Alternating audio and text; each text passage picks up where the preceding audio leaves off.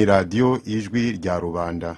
Bwana fideli kabera wo muri fdu inkingi na bwana jean damascene ntaganzwa wo muri nouvelle generation barungurana ibitekerezo ku birebana n'ishyirwaho rya guverinoma y'u rwanda ikorera mu buhungiro.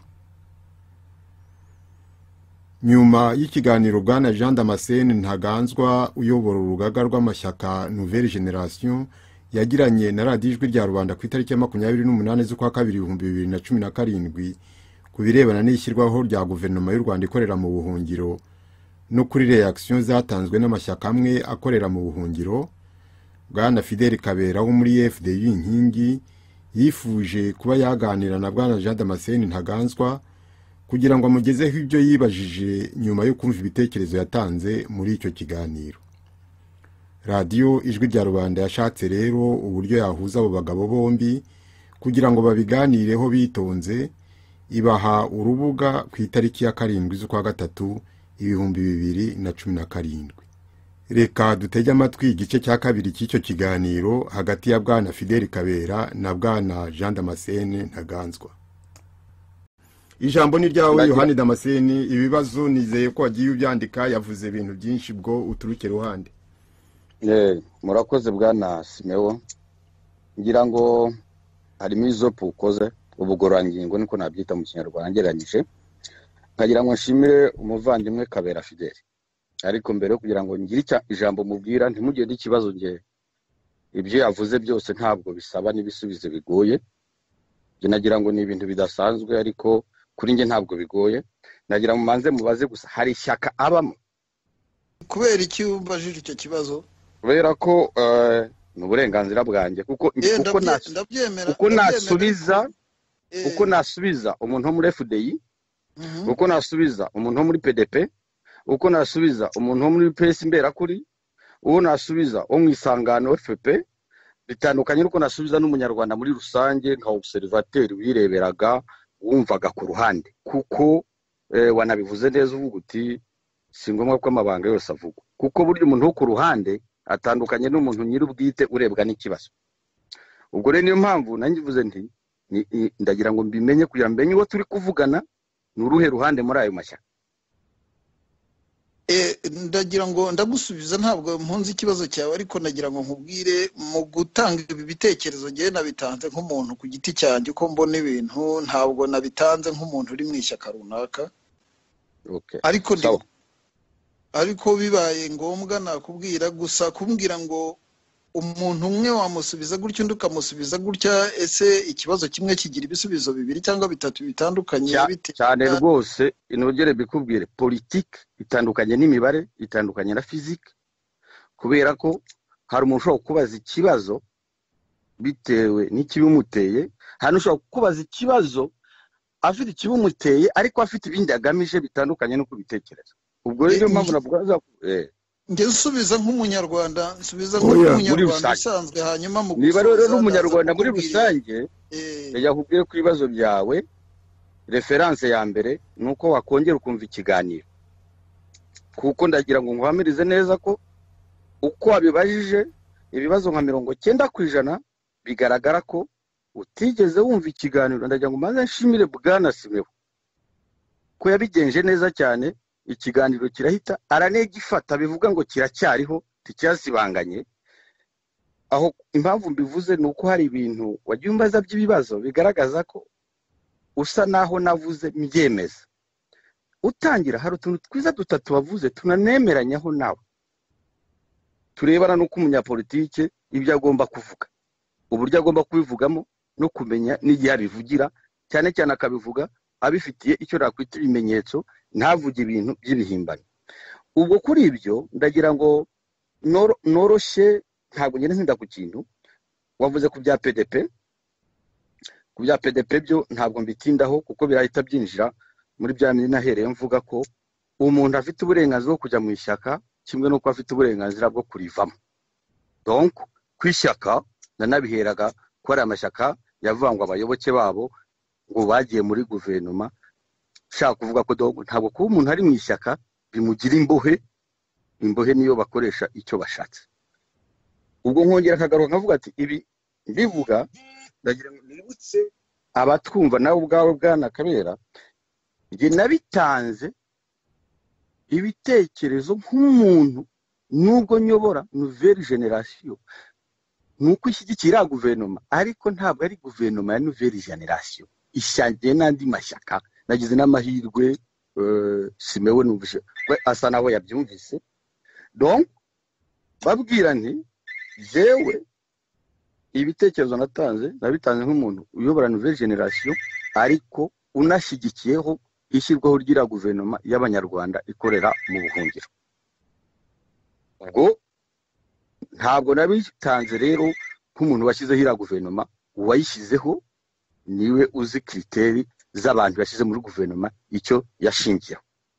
Ubwo ni uburenganzira bwe icyo numva cyazabazwa uwabishyizeho icyo ndumva ngisubije.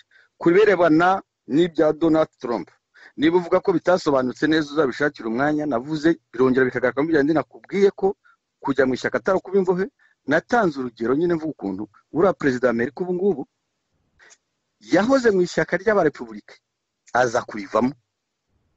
Ariko igihe cyarageze arongera agarukamo ndetse ejo bundi araniyamamaza aratsinda kandi yiyamamaza mu ishusho ry'iryo shyaka ry'abarepubulika niba nibeshya uzamvuguruze njye mfite referanse hari ikindi wavuze kirebana bya pdp numvise ko nabigusubije byarangije ibirebana n'itegeko wavuze ngo navuze ko mu gihe bari gutekereza ibindi bagombye kwihutira kuba bashaka uburyo bamufunguza ko umuntu ugenewe igifungo iki n'iki hari igihe bashobora gufungurwa by'agateganyo. Byo ni seriberasiyo kondisiyoneri ndagira nkwibutse muvandimwe ko nabivuze neza mvuga nti niba itegeko ritarahindutse ako kantu ugasubiramo mu kiganiro birimo. Niba ritarahindutse kuko iryo nzi nawe ubyivugiye neza ni cyo ngushimiye. Ahubwo mbwire tuzahure nkugure agacupa. Ubyivugiye neza? Wivugira ko itegeko mbayeho referanse ni iryo mu bihumbi bibiri na cumi na gatatu. Wowe icyo gihe ngeze ko ntakubwiye itariki navuga ati itegeko mperuka. Niba ritarahinduwe ni ukuvuga ngo ntabwo nahamyaga ijana ku ijana. Ariko icyo twemeranyijeho ni uko nawe wemera ko hari igihe iki n'iki umuntu amara muri pirizo bashobora gusaba ko yafungurwa bitagombye ko arangiza igihano yahawe. Nicyo navugaga kandi cyo kugeza kuri uyu munota ntabwo ndagihindura. Niko kiri. Nawe ubwarabyemera ko ibyo bintu bibaho ndetse n'ingingo ya magana abiri mirongo ine na gatandatu ngo ibiteganya y'itegeko rirebana n'iryo mu bihumbi bibiri na cumi na gatatu. Ibyo biri amahire ku kirebana rero no kuvuga ngo ese nakubwira amashyaka agize iriya guverinoma? Ngira ngo ibyo byarebana n'iriya guverinoma uwayishyizeho ntibyagusobanurira twe muri nouvelle generation ni guverinoma dushyigikiye dushyigikiye n'abayirimo kandi twe n'amashyaka yo muri nouvelle generation yagiyemo ibyo numva ntagomba kwirirwa mbitindaho niko biri nta nikosa kugeza kuri uyu munota. Hari ahandi wabajije ngo ngo ese uko ari ahantu ngo bigaragara ko ngo navuze ko ngo iriya guverinoma yatsinze ngo ese ngo byaba bigaragara ko yatsindiyeho yaba yarabonye amajwi? Ibyo ntabwo nigeze mbivuga naravuze nti iyi guverinoma iraje. Tiramara n'ukwezi nyabona abanyarwanda nibahaguruke bayifashe. Niba koko baharanira ko mu rwanda hagomba kuba amahinduka nibahaguruke bafashe guverinoma. Mvuga ko ubufasha bushobora kuba ubufasha buturutse mu buryo mu bitekerezo mu mafaranga kugira kuko guverinoma ikenera ibyo ishobora gukoresha. Ikenera ibitekerezo ikenera utuntu twinshi kugira uretse na guverinoma n'umuryango usanzwe ubaho niko bigenda. Ni ukuvuga ngo rero na yo niba twumva ko iyi guverinoma ishobora kuba yagira icyo ikora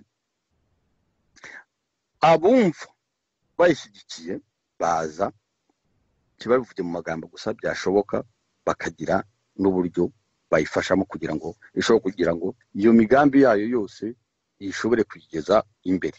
Ariko nanabivuga ndagira ngo nongere nsubiremo ni uko nta bandi mbona bafite ikindi gitekerezo gishya cyadufasha kugira ngo dushobore kugeza demokarasi mu rwanda. Mu rwanda hashobore kuba amahinduka. Kubera ko ibi mbivuga wibuke ko navuze ngo amashyaka ya opozisiyo agiye kumara imyaka makumyabiri abayeho. Ariko iyo ubaze sinatinze kuvuga ko amashyaka menshi ahubwo ari mu kintu cyo gusinziriza abanyarwanda cyo kubarangaza bavuga ngo hari ibintu bari gukora kandi nta bintu biriho. Kuko uri gukora ibintu hari icyo twita umusaruro ngira ngo numvishe uri umuntu usobanukiwe wanasomye politiki na yo burya ni umushinga. Umushinga ushobora kuba umushinga w'igihe gito ushobora kuba umushinga wo mu gihe kigeranyije ushobora no kuba umushinga wo mu gihe kirekire. Ushobora kuguha urugero reka tujye twiha ingero za hafi. Duhere iwacu mu rwanda. Fpr itera yateye muri mirongo cyenda ariko muri icyenda na kane yageze ku butegetsi. Cndd fdd yatangiye gutera muri icyenda na gatanu. Ariko nyuma y'imyaka ingahe w'ibihumbi bibiri na kane yarigeze ku butegetsi. Ni ukuvuga ngo iyo mvuga ngo uri ishyaka rya politiki ni byo navuze n'ubushize. Ibikorwa bya politiki ni bibiri niba ushaka guhindura ubutegetsi. Witabira ibikorwa ushobora guhindura ubutegetsi ugendeye mu matora cyangwa ugiye mu ntambara uretse akantu gashyashya gasigaye karaje kitwa revolisiyo nka biriya byabaye mu bihugu by'abarabu ariko ibindi byose ni amatora cyangwa intambara. Muri ibyo bibiri rero ni ibyo ngibyo no kuvuga ngo ni ikihe? Ayo mashyaka yandi yavugaga aho kugira ngo yihangane nanagize amahirwe nabivuze neza aho kugira ngo ayo mashyaka yihangane kubera ko ibyo iriya guverinoma igiye gukora y'abanyarwanda bo mu buhungiro na nyakubahwa tomasi nahimana igiye gukora ni ibintu uko babyanditse bigera kuri cumi n'icyenda nta shyaka na rimwe rya opozisiyo muri ayo ngayo. Nigeze avuga ngo ibyo bintu bavuze si byo. Kandi niba se byose ari byo baharanira niba abantu baharanira demokarasi ubonye umuntu ugiye kugufasha umutwaro wari wikoreye ngo mubikurane muri babiri uwo muntu wamwamagana cyangwa ahubwo wamushyigikira byanaba ngombwa mukagena ati n'urugendo burya iyo urugiye uri wenyine. Ugera mu nzira wananiwe. Ariko iyo urugenzi uri kumwe n'undi biroroha ko mugenda muganira wananirwa haguruka ku buryo mugira aho mugera. Ntimunamenye ko mwahageze ahubwo mukajya kubona murahageze. Ubwo rero ntavuze byinshi muvandimwe kabera fideli nagira nkubwire ngo hari n'akandi kantu wavuze ngo hari abadamu babiri ngo natsinze. Ndagira nkubwire ngo nawe ubwawe wabivuze ko muri politiki hari bitavugwa. Ariko hari ikindi nongera kugerekaho hari icyo bita uburenganzira bw'ibanze umuntu uwo ari we wese avukana. Muri ubwo burenganzira bw'ibanze ibyo urabizi harimo uburenganzira mbere na mbere bw'ubuzima ni bwo bwa mbere bw'ibanze. Ubwa kabiri ni ugutanga igitekerezo. Gutanga igitekerezo rero ntabwo bivuga ko ngibyo ntekereza ari ngombwa ngo wowe kabera waba ari byo utekereza cyangwa karisite kanaka aba ari byo atekereza cyangwa mushahida aba ari byo atekereza. Bipfa kuba gusa. Ntaho biri bugonge karisiti. Biri bugonge fideli. Biri bugonge undi kanaka. Ariko gutanga ubutekerezo ni uburenganzira nange igitekerezo cyanjye nagihiniye hariya igihe nikiba ngombwa abo babyeyi nongera kwitwa intari kuko burya hari ukuntu wabivuze ari na mpamvu nakubaje ati bwana akaberwa muri iyo shyaka. Ariko si ngombwa ko nanimenya unganiriza njye narimenye. Nagira nkubwire ikintu cyoroshye twese tuzi. Kiba na hano ku isi. Uzasanga hari abantu mu budage. Mu gihe tuvuga hitireye ko yamaze abantu hari abantu n'ubu bakimwambaza bambara imyenda uzibibona turi hano i burayi. Baniruka inyuma bambaye na kuruwagabe hari abantu rero uwo bita intwari abandi batamwita intwari. Nk'ubu nakubwira ngo mu rwanda hari amatariki abiri abanyarwanda barwaniraho. Fpr hari umunsi witwa ni umunsi ngo yabohoje u rwanda. Ukagira ngo u rwanda rwari ruboshywe n'abandi banyamahanga cyangwa se ni abantu baje bararufata bararufunga mu kintu mu gihe abari ku buyobozi nabo bari abandi banyarwanda. Oro hari abantu bajya no kubibyinira bakanabinywera bakarara babyumva ko fpr kuri bo ari imana. Abo ngewe ntabwo nzafatana nabo ngo turwane kuko niko babyumva. Niba yarumvaga yarahejwe mu gihe fpr yari afite ubutegetsi ubu akaba igihe bufite yumva ariho yagaruye ubuyanja. Ubwo ntabwo nzabipfa nawe apfa kuba atanyangiza cyangwa mbone yitwaza umunsi we agira uwahemukira aho nzamwamagana. Hari abandi mu rwanda bizihiza icyo bita akamarampaka icyo bita revolisiyo do senkarinef abo ngabo ntabwo nzabipfa nabo kuko niba bazi ko iyo tariki yabafashije mu bibazo bari bafite bakabivamo bakagomba kubyibuka. Ntabwo tuzabipfa. Icyo tuzapfa ni uko ashobora kwitwaza uwo munsi akumva ko njyewe nta burenganzira bundi mfite ntagomba kuvuga. Ibyo ni na byo nakubwira mvuga nti kuri njye nemera ko mu rwanda niba abantu bapfuye bitwa abatutsi bibukwa. N'uwitwa umuhutu nawe yagombye kugira uburenganzira bwo kwibuka kuko icyo mbara kuri njye ni ikiremwa muntu cyambuwe ubuzima. Ntawe ufite uburenganzira n'umwe bwo kwambura undi ubuzima. Niba umubyeyi wa kanaka cyangwa mu muryango wa kanaka ababaye uwe n'undi nawe ababaye uwe ntabwo tugomba gufata abapfu ngo tubafate ngo kubera ko ari bariya buriya ngo byagenze kugira ngo bo nta gaciro. Oya niyo mpamvu mvuga nti abibuka babo ntibabibuke n'abandi bibuka abandi uwumva agomba gushyingura mu cyubahiro abihererwa uburenganzira kuko n'uwe n'undi nawe abihererwa uburenganzira tumve ko undi wabibuzwa undi ngo abyemererwe. Ubwo rero nagira nkubwire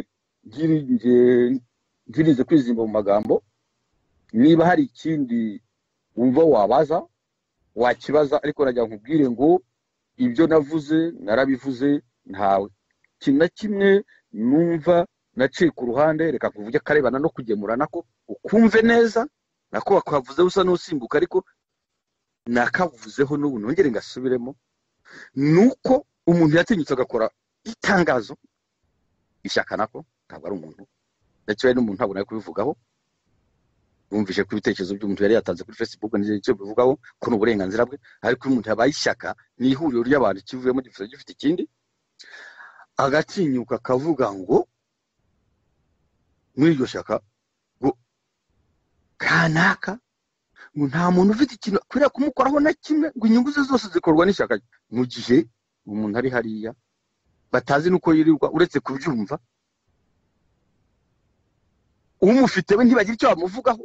Mu gihe guverinoma ye ahubwo yo igiyeho uwo muntu abo bantu igamije kubatabariza ngo akarengane kabakorewe cyangwa kagikomeza kubakorerwa kamenyekane babe bafatanya wa muzigo nakubwiye wo gushaka uburyo babatabariza abantu rero bakumva ko ngo bazahora muri ibyo ngo ntawamuvugaho ahubwo si uvuga ngo aramugumana ari kumukorera iki? Nongere mbisubiremo. Ari kumukorera iki? Ku kibazo nongere mbisubiremo si uko babagemura. Kuko ntabwo victoire ntabwo mushayidi bashimishwa no kuba ari muri iriya pirizo ntabwo victoire ntabwo mushayidi ari uko bari barabuze icyo barya kugira ngo bumve ko ari ngombwa ko bagomba gufungwa. Ahubwo ni ukuvuga bati ni iki dukomeza gukora cyatuma bava nka ziriya mfunganwa noneho bagasubirana uburenganzira bwabo? Kuko ubundi gufungwa mbere na mbere ni ukubuzwa uburenganzira? Nicyo gisobanuro ubundi cyo gufungwa? Ni ukuvuga ngo rero ni cyo gikenewe naho biriya byo nongere mbivuge hari n'abafungwa ntibagemurirwe kandi bakabaho. N'ubu barahari. Njye nagira ngo uri bumbwire ko victoire ngabire atagemuwe na fdi mujeride guratsasa atagemuwe na pdp imanzi batabaho.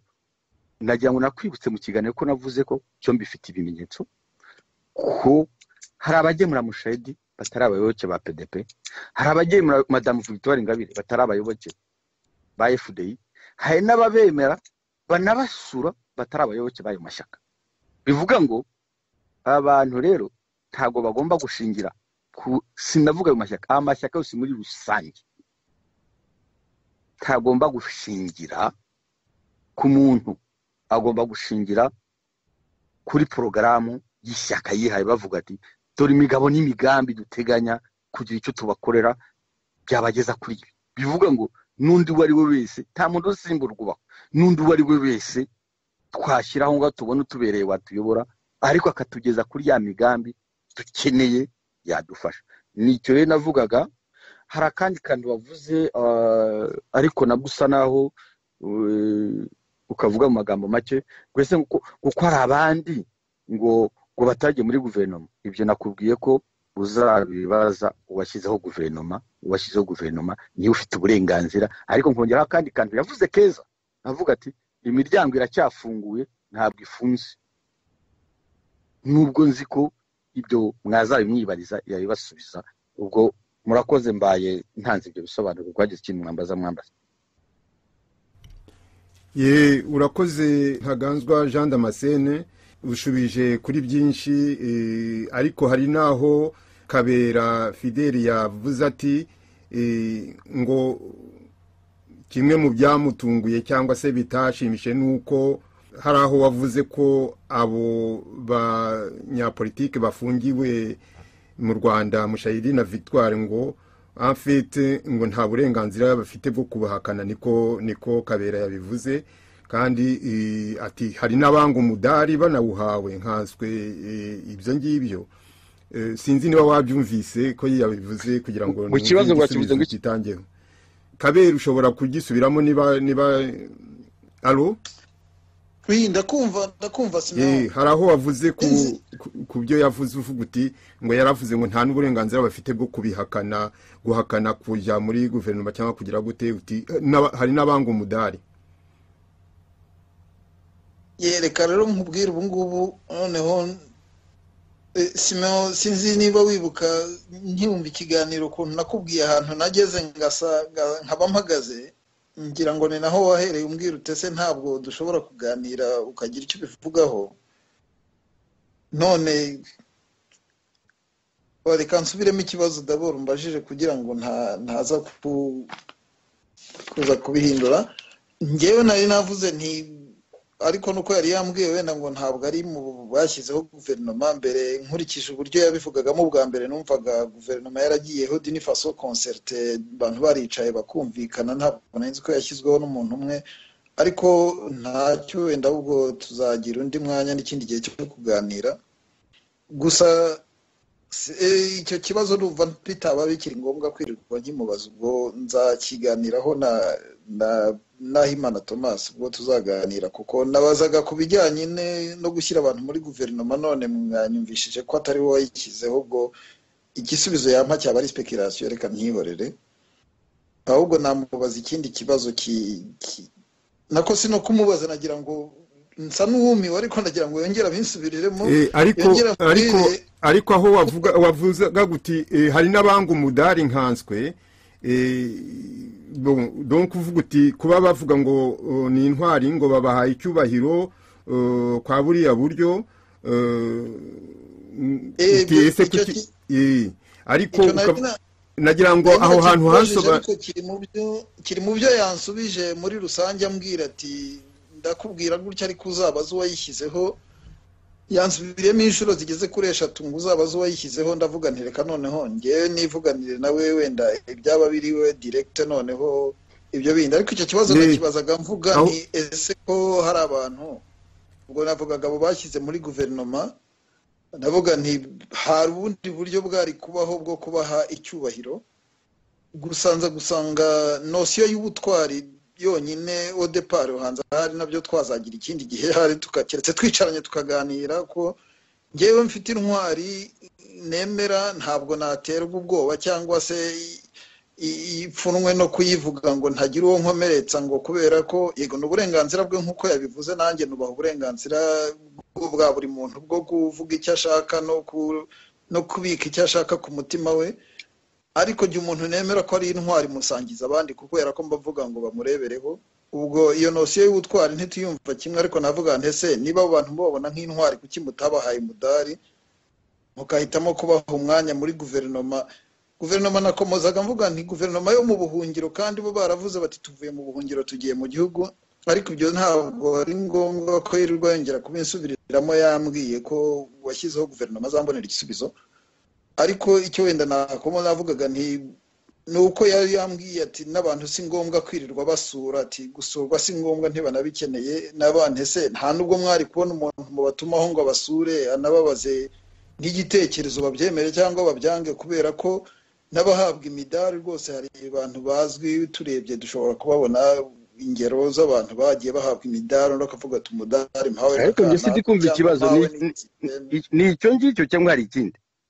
Nta kibazo gihari kubera yuko ibyo nakubwiye ko uko Eh. guverinoma yagiyeho hari abayishyizeho iyo guverinoma Eh, iyobowe na nyakubahwa nahimana thomas wazamubaza nabyumvise nanjye ni byo narindi gusubiriramo simeho mvuga nti icyo ndumva atari ngombwa kwirirwa nkikubaza nzakiganira na thomas. Ye hari ikindi kibazo gihari eh, mushaka ko kugarukaho? Icyo cyari igice cya kabiri kuri bine bigize ikiganiro cyahuje bwana fideli kabera wo muri fdi inkingi. Na bwana jean damascene ntaganzwa wo muri nouvelle generation ku itariki ya karindwi z'ukwa gatatu ibihumbi bibiri na cumi na karindwi.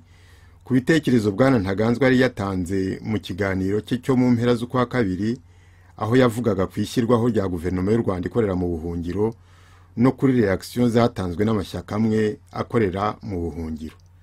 Biracyaza. Iyi ni radiyo ijwi rya rubanda.